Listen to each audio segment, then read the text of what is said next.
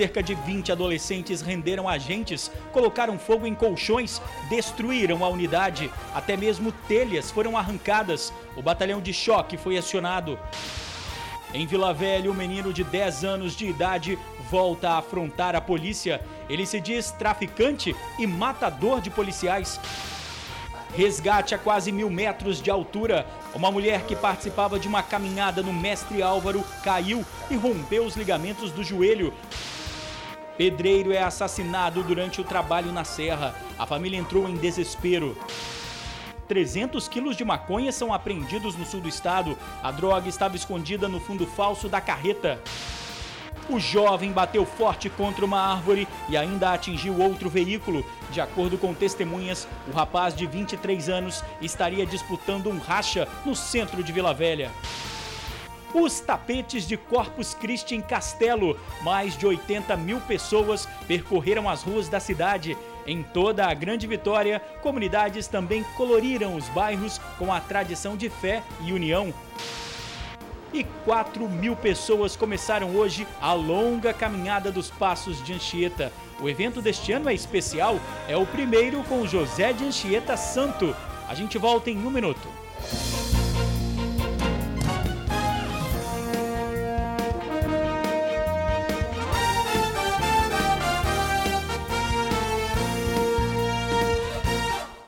Olá, boa noite. A rebelião na unidade de internação de menores em Cariacica. Uma agente foi rendida, um outro acabou ferido durante o confronto.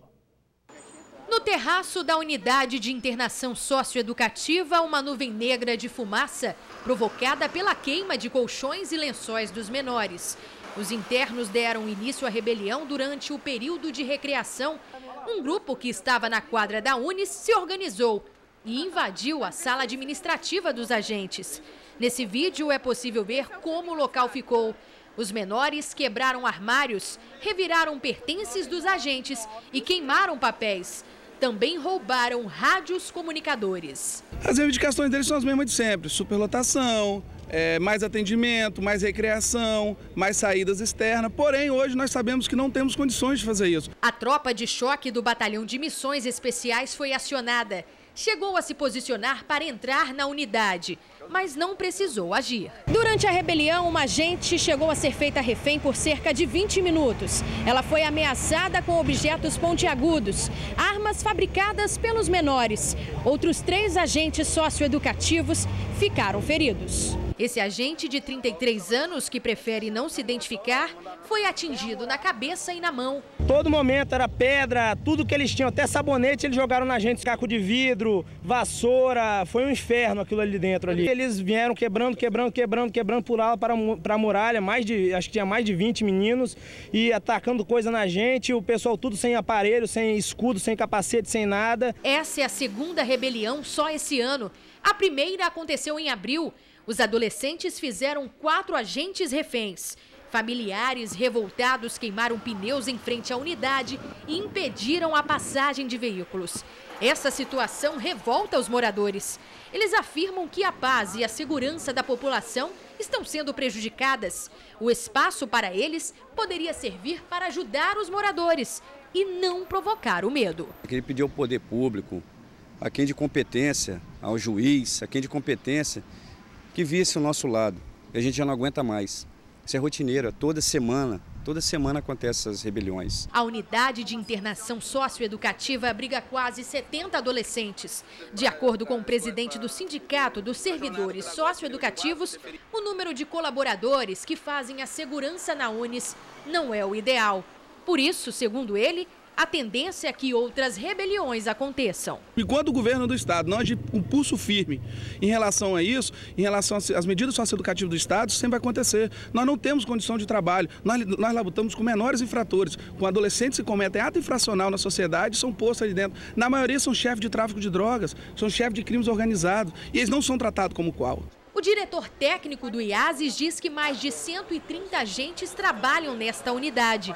Em cada plantão são disponibilizados entre 30 e 40 profissionais. Novos agentes devem ser contratados e o trabalho realizado no local reavaliado para evitar novas ações indevidas. Nós conseguimos fazer a negociação da maneira mais, mais adequada, estando bem para todas as partes, né, tanto para, para os nossos servidores quanto para os adolescentes. E agora seguimos com um processo de socioeducação, de reflexão sobre essa questão e também a, a apurar as devidas responsabilidades. A adolescência já é uma fase de conflitos e em perspectiva ainda de conflito com a lei, ah, não se trata muito de uma condição de trabalho, mas de uma condição que eles estão reclusos, e a, longe das suas condições de uso na sociedade em geral. Lembre-se, são adolescentes em conflito com a lei. Isso é uma fatalidade que, vez por outra, pode acontecer.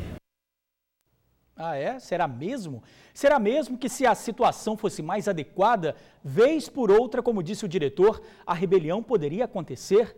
É muito mais fácil jogar a culpa nos internos, né? Mas também não é por aí. Por um lado, adolescentes em conflito com a lei. A lei em conflito com ela mesma e nós, hein? Em conflito com quem? Muitas vezes com a farsa que temos que engolir.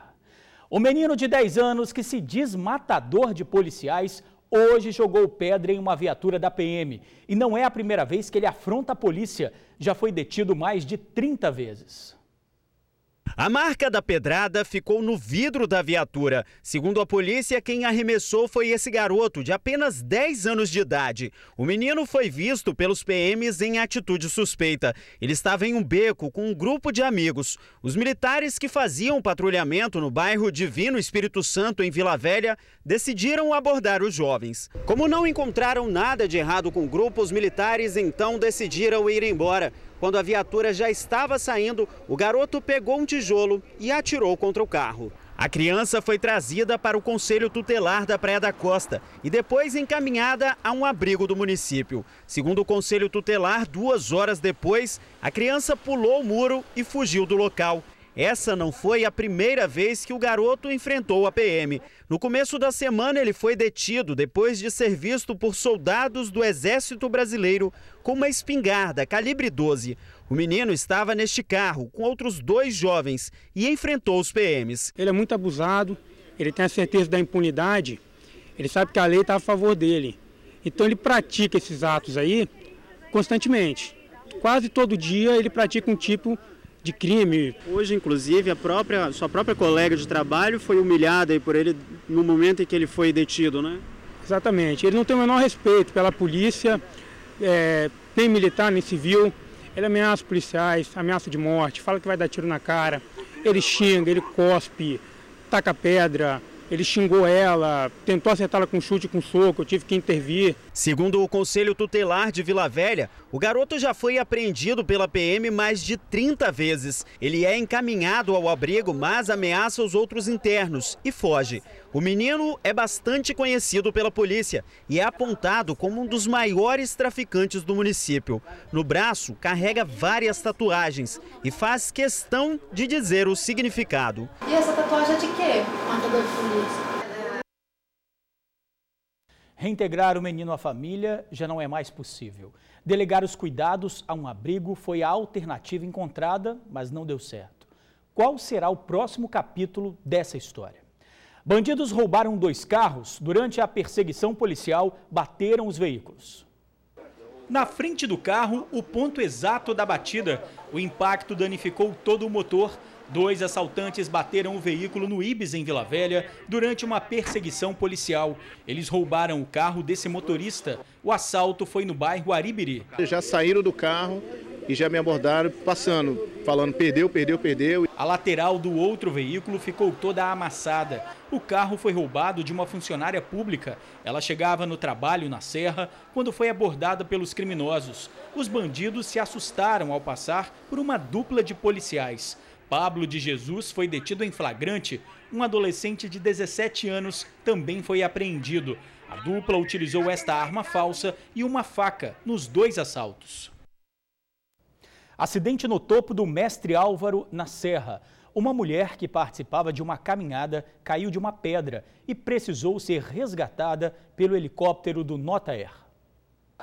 As imagens mostram o momento em que o helicóptero da Polícia Militar sobrevoa o mestre Álvaro. No topo, a mil metros de altitude, estava parte do grupo de 15 pessoas que faziam uma trilha ecológica no local.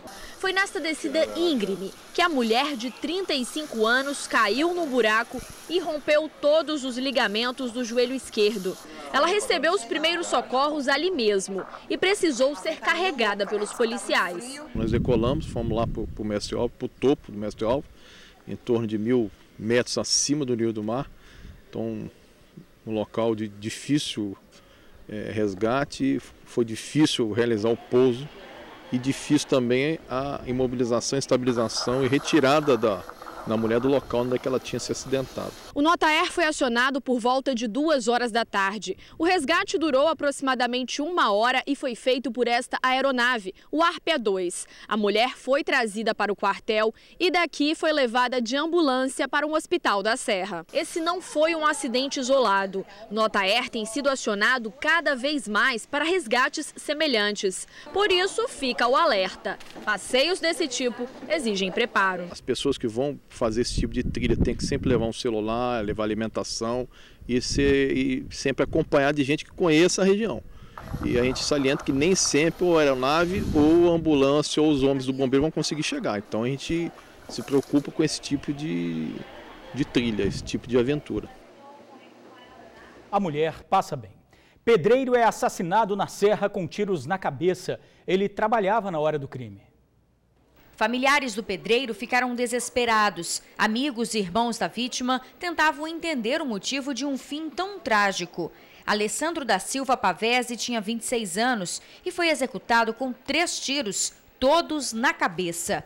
O crime aconteceu na rua Flamboyant, em Felrosa, na Serra. O pedreiro rebocava o muro desta casa. Ele subia no andaime quando foi atingido pelos tiros.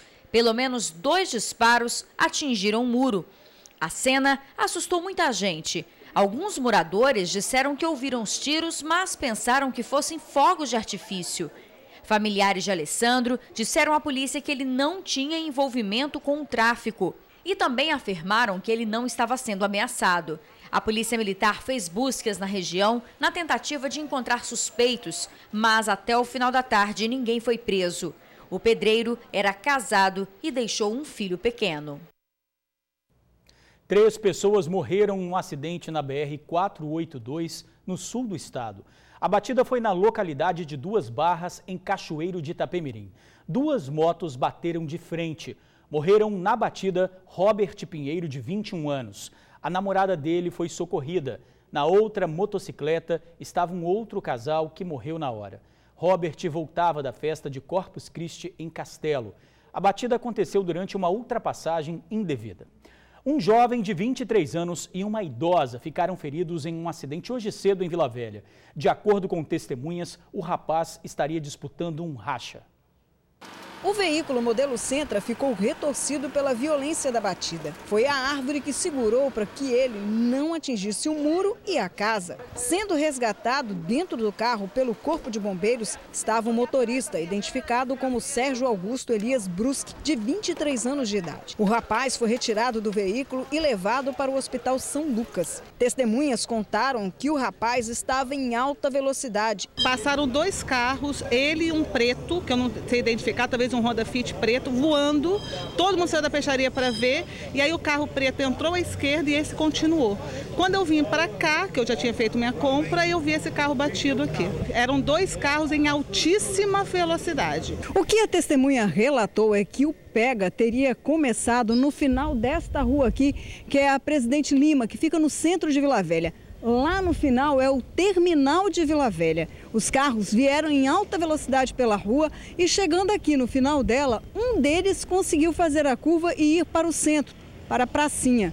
O outro, o César Augusto, não conseguiu controlar o veículo e passou direto. Sem conseguir fazer a curva, Sérgio atingiu este carro, onde estava o casal Paulo Roberto Gomes de Almeida, de 66 anos, e a mulher dele, Marilda Gomes de Almeida, de 63. Mesmo com a batida violenta, os airbags do veículo não funcionaram e Dona Marilda acabou batendo com a cabeça no vidro. Ela foi socorrida para o Hospital Vila Velha. Seu Paulo nada sofreu. Ele não quis conversar com a equipe, estava nervoso, mas o filho contou o que houve. Segundo o pessoal está relatando aqui as testemunhas, os dois carros vinham em alta velocidade, era um, era um pega que estava acontecendo vindo pela rua. O primeiro carro conseguiu curvar e o outro passou reto e ia passar reto aqui nessa rua que é uma contramão para quem vem de lá. Né? A prefeitura de Vila Velha falou sobre a falta de sinalização. É importante a gente voltar ao local e está revendo a sinalização, está reforçando, uma vez até que a placa que tinha no local ela foi derrubada pelo veículo é, que, que ocasionou o acidente. As vítimas do acidente continuam internadas, mas passam bem. 80 mil pessoas viram de perto hoje os tapetes de Castelo. Esse número é mais que o dobro da população do município. Desde cedo, uma multidão de fiéis participou da festa de Corpus Christi. Foram cerca de oito horas de muito trabalho. Foram confeccionados um quilômetro e meio de tapetes. Mais de 3 mil voluntários num trabalho de fé e dedicação. E em Vila Velha, fiéis de várias paróquias coloriram ruas com os tapetes de Corpus Christi. Fiéis da paróquia São Francisco de Assis, em Itapuã, Vila Velha, se reuniram na Praça da Igreja para a missa de Corpus Christi. A banda da Polícia Militar se uniu aos membros da comunidade para tocar durante a missa. O encontro, que hoje celebrou o mistério da Eucaristia, emocionou e alegrou os católicos. E a confecção né, dos tapetes, eu acho que vem coroar essa, essa, esse carinho, esse zelo que os fiéis têm com a igreja e com Deus. Corpus Christi também marca a união da comunidade para enfeitar as ruas com os tradicionais tapetes. Membros desenharam e confeccionaram 600 metros na Avenida Jair Andrade. Dona Antônia participou e de sentir que a fé foi renovada. Eu acho que é uma emoção muito grande, sabe? A gente faz com alegria, faz com amor, sabe? Mas com muita dedicação mesmo. Após a missa, a procissão segue até a Igreja Sagrado Coração de Jesus. Fiéis e cadetes da Marinha levam a Eucaristia, a representação do corpo de Cristo, à comunidade irmã. Essa procissão, na verdade, é a gente está interagindo que Deus é o, é o único, né? É o Senhor é o pão da vida, né? Que é a simbologia de Corpus Christi. Então, para a gente, assim como cristãos católicos, é uma data muito importante.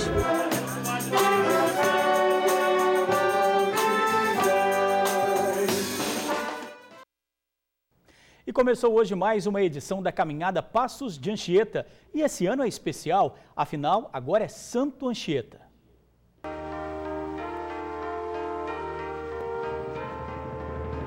Cada um no seu tempo, cada um no seu passo. Passos de Anchieta. Cajado nas mãos, tênis nos pés e muita disposição. Algo mais? E, e amigos ao lado. É tudo é kit básico para fazer a caminhada. Antes de começar a peregrinação, muitos participaram da missa na Catedral de Vitória. Dentro da igreja encontramos Fausta. A doméstica sempre participa da caminhada vestida de índia. Porque meu irmão, é, ele vem como padre, né? Vestido de padre.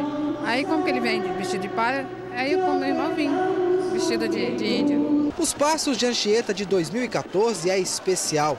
É o primeiro depois que o jesuíta se tornou santo. Com a canonização, com certeza, é, esse ano tem, aumentou bastante o número de adeptos aos Passos de Anchieta. Os Passos de Anchieta de 2014 devem atrair cerca de 4 mil pessoas, 15% a mais que no ano passado.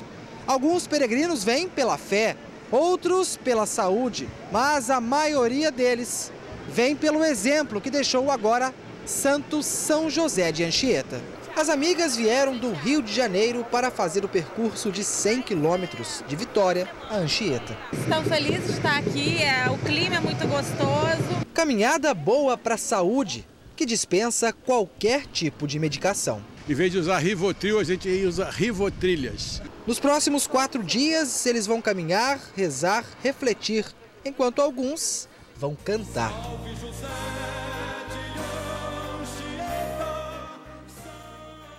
A caminhada termina no próximo domingo. E a seguir, polícia apreende 300 quilos de maconha no sul do estado. A gente já volta.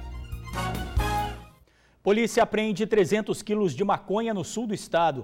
A apreensão aconteceu em Ibatiba durante a Operação Copa do Mundo da Polícia Rodoviária Federal. A droga estava no fundo falso de uma carreta. o veículo foi levado para a delegacia de venda nova do imigrante. Uma boa noite, até amanhã.